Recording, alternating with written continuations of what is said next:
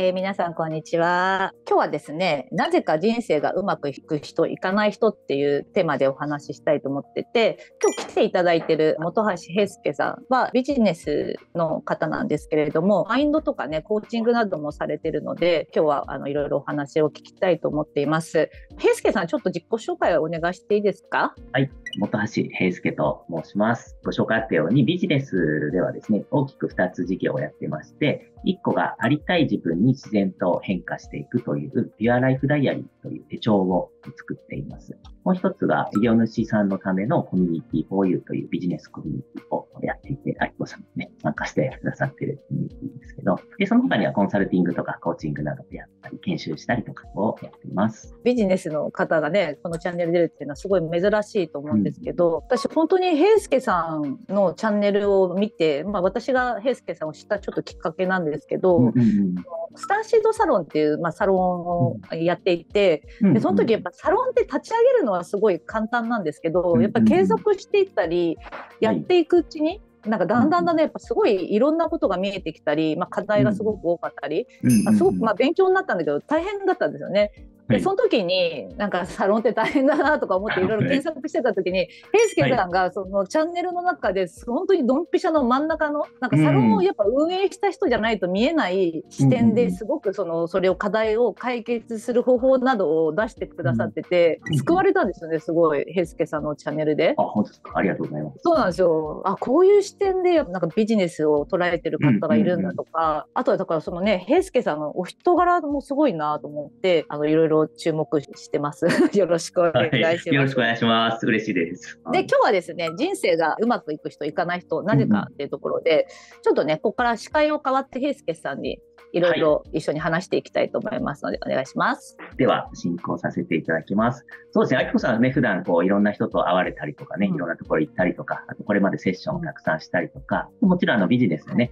あの、教えるっていうこともやっていて、まあ、その中でうまくいきやすい人と、なかなかこうね、芽が出ないっていう方が今まで見てきていらっしゃったと思うんですけど、この違いっていうのは、あきこさんから見ると何にあるかないうふうに思われますあ、うまくいってる人といかない人ですよね。うん、やっぱりなんかもう本当になんで簡単なことで明るさとかって結構大事かなと思ってて、うん。いや、めっちゃわかります。はい、うん、前向きとか明るさ、やっぱ暗いと人生ってなかなかうまくいかなかったりとか、うん、あの愚痴も多くなってくると思うんですけど、うん、明るいとか前向きであるっていう当たり前のことなんですけど、うん、そういう方やっぱうまくいってるように感じますね。確かに、そうですね。なんか内面から出る明るさというか、カラッとしてるみたいなところって、やっぱうまくいく人、あります、ね、そうそうそう。うん。ゆうすけさん、なんかあります？そうですね。僕もそこはやっぱりあるなと思いますね。なんかこうエネルギーが軽いじゃないですけど、あとはまあ、前向きに捉えられるっていう、その、起きた現象っていう現実って多分変わらないと思うんですけど、いいこと悪いこと含めて、はい、うまくいく人の共通点としては、あの何が起きてもなんか良かったなとか、もしくはあの、その場は良くないかもしれないんですけど、まあ、これは多分なんか自分が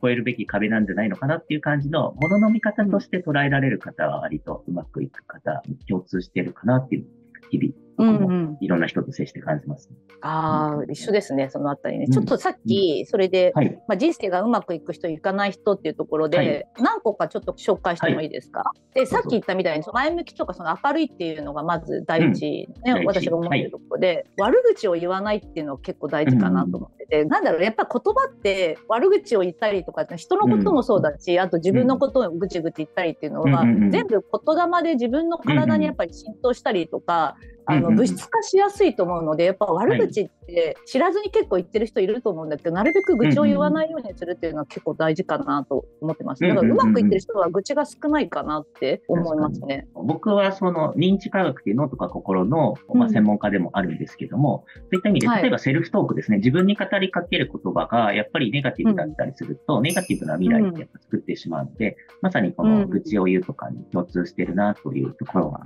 感じますね。科学でも立証されてですですね、簡単なことですけど悪口結構言う人いるじゃないですか、はい、書き込んだりとかね、そうやっぱや,、やらない方がうまく絶対いくと思いますね、言いたくなってもなるべく、まあ、抑えるとか吐き出してもいいと思うんだけど、やっぱいつも言わないようにあのするって心がけるのが大事かなと思いますね。あとね、えっとね、分析力があるっていうのは結構大事かなと思ってて分析、はい、要はその起きた現象に対してなんか考えたりとか平介さんビジネスだったり私もまあこの、ね、スピーチャーとかお仕事でやってるんですけれども、うん、分析していくんですよね。何かやろうとしたものに対してどうやったらいいかっていうのをなんかトライアンドエラーで分析しながらあのより良いものを提供したりとかね YouTube の中でもなんか自然にやってるんだけどなんとなくやっぱりこう分析しながらどうしたらたくさんの人に見てもらえるかっていうこととかも考えるというよりもなんか分析ですねやっぱりね。データを取ってどれがいいかみたいな感じでこう分析したりするのでそこは結構なんだ何事も探求心みたいのがあるのは大事なのかなと思います。僕もやっぱビジネスを教えていると、まあ、うまくいく人、いかない人の大きな分かれ道が分析とやっぱ事前のリサーチというか事前に調べているっていうことがあってビフォアがリサーチでアフターが分析だと思うんですけど、で間に行動があるという感じですね。はい、うまくいかない人はこの真ん中の行動だけが走ってるという感じなので、なんかすごい頑張ってる割に結果が出ないみたいな。よくそのなんか質問とかでも自分で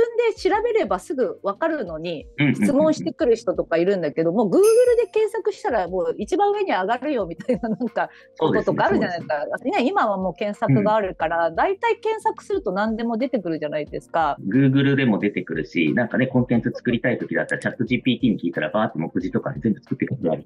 チャット GPT という AI のね、はい、あのすごいのが出てるので、そういうのもあったり。でもなんかやっぱりうまくいかない人っていうのは自分だけでこう考えてしまったりもあるし、うんうん、あとはだからその分析力が結構弱い方が私もね、うんうん、多いなっていうのも感じてますね。分析すればその分土台ができるから蓄積されたノウハウみたいな感じのね、でそれも頼ることができるわけだから Google を頼ったりとか分析をする力もつけることができるから、自分自身も深めることができるかなと思いますね。そうですね。そこもなんか2段階あるかなと思っていて、まずはなんかそもそも行動だけでその前後をやってないっていう人がもう結構いたりするので、うん、もし悩んでたりとかする人っていうのは、事前リサーチと、えっと、分析を、なんかサンドイッチ、行動のサンドイッチをするみたいな。行動のサンドイッチ。はい。常に意識しておくといいかなと思うんですよね。で、スタートに、こう、やっぱ出てくる言葉としては、いや、分析が苦手ですとか、リサーチが苦手ですっていうところがあるんですけど、うん、それもなんかあの筋トレとかマラソンとかと一緒で、トレーニングであのある程度の水準っていうか、まあ、結果が出るぐらいの最低限のところって絶対あのやっていけばできるように、誰でもなるようになって、はい、まあ、僕も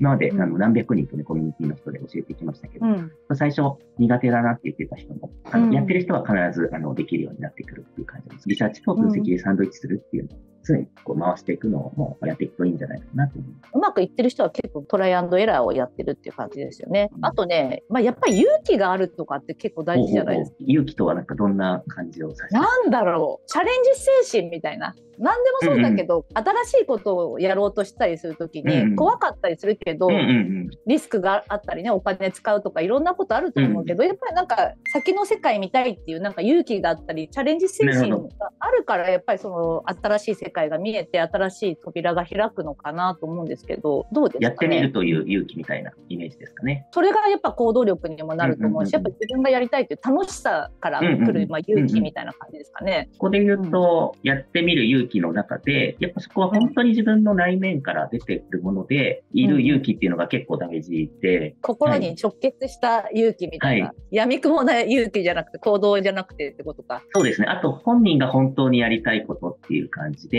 やっぱ日々、あの、コーチングとかをしてるときに、本人がやりたいって言ってることが、はい、実は本当に本人がやりたいことじゃなくて、誰かからのこう承認を得たいとか、うんうん、外部の評価とかを気にしてとかっていうことも結構あったりするので、やっぱその勇気でやっちゃうと、もう結果も出ないし、辛くなっちゃう。それある。本当に持っているものでやると、勇気も出るし、勇気を出した後のなんか行動も、頑張ろうと、なんかモチベーションを保とうとしなくても、本当にやりたいことだから、自然とそういうのは活力も湧いてくるし、走り続けられるし、壁も乗り越えていけるみたいな。でもなんかやっぱり今お話ししたやつって、うん、マインドの部分で抑えるものがあったりすると、なかなかそういうね、分かってはいるけど、なんかできないっていう方も多そうな気がしますけど、はい、ここからどういうふうにみんなしていけばいいのか。ね、多分解決策2つあって、1個はコンフォートゾーンという自分の快適な空間を出たくないっていうところもあるので、そういった心の仕組みがあるんだなっていうところで、これはなんか怖くて勇気が出ないのか、なんか本当はやりたくないのかっていう、なんかそこの、なんか自分の中でアンテナを張るっていう癖をつけると、あ、これは多分誰かの目線気にしてるなとか、なんか承認走ってるなっていう感じとか、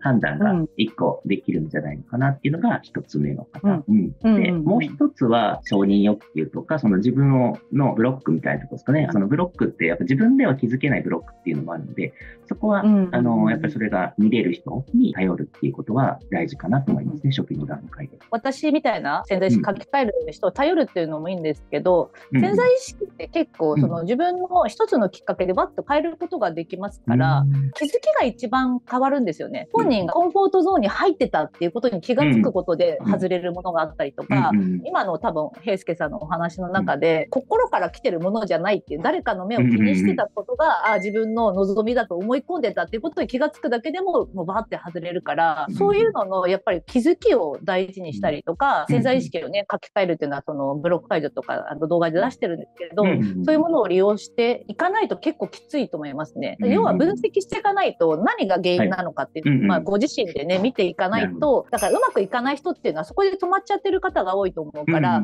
その先に行く手段っていうのはたくさんありますから行かせる方法っていうのをそれぞれがやっていただくといいのかなと思いますね。そうするとさっきはね、行動とか、まあ、ビジネスとかのやりたいことに対してのこう分析とかっていう話だったんですけど同じように心に関しても分析とかをしていくことが大事みたいなイメージです、ね、もうむしろそれがメインだと思うんですよ。私たちって物質にとらわれてるから、どうしても物質の方のね結果とか名誉名誉なんていうのかなそういうすごいものみたいなとこにとらわれがちですけど、もっと丁寧にやっぱ心とか、自分が何を起こしてるかっていうとこを一つ一つ見ていって、要は自分の心の部分の欲求それが一番貫いていけるものだし、それが自分の魂の道であり生きる道だと思うから、そこからなんかずれてるとやっぱり抵抗が生まれると思うんですよね。きついですよねそういう状態だとね。そね。それには分析がすごい大事かなっていう感じですかね。そうですね。だからうまくいかない人は分析をしていろんなことをその気づいていったりとか潜在意識書き換えたりしていけばどんどんどんどんやっぱうまくいくようになっていくと思うからいろんなメソッドの中でもその過程を踏んでるはずなんですよ。そうやればうまくいくようになるんじゃないかと思いますね。あとはうまくいきたいなと思っている人がそういう意味で初めの一歩として最初に踏み出そうとするときに、まあ、そもそも何を分析したらいいかわからないっていうことがあると思うので、まあ、知ることがすごい大事かなっていうことですね。まあ、学ぶっていうことですね。やっぱり知識とかね、うん、があると、知恵があると、やっぱり役に立つので、例えば、マインドのブロックって、どんな種類があるのかなっていうのをなんか勉強してみたりするとか、その種類がわかると、あの、やってきた時に、あ、あの A パターンだな C パターンだなっていうのが分析できるようになるんですけど、そもそもこの知識がないと、こうやってきた時にも分からずに自分の心がダメージを食らってしまうみたいなことがあるので、やっぱその知識を得るっていうことはすごい大事なんじゃないのかなっていうのは、初めの一歩としてはですね。私はですね、もうね、自分自身をやっぱり優しくするっていうことですね。うまく必ずみんな行くはずなんですけど、行かないっていうところで、今までの経験とかそのコンフォートゾーンを出たくないとかね出たくないんじゃなくて、やっぱりこう出た時にやっぱり傷ついたりしてきてるのが怖いんですよね、もう肉体とかにそういう怖さとかが入っちゃったりしてるから、